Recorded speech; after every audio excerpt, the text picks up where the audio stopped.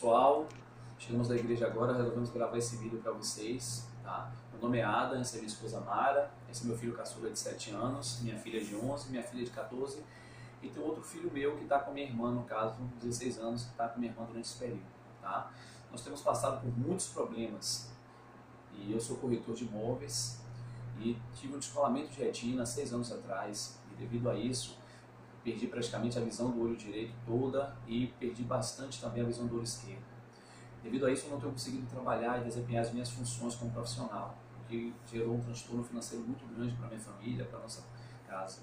Descobrimos um problema de saúde grave da minha esposa, que é um câncer de mama, ela está fazendo um tratamento.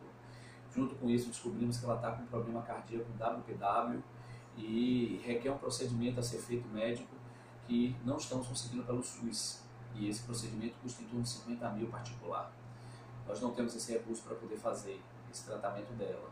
Ela tem sofrido muito com dores porque ela também tem um pólipo na vesícula, não pode fazer cirurgia que o cardiologista proibiu antes do procedimento que ela tem que fazer do coração e também tem dois cistos no ovário.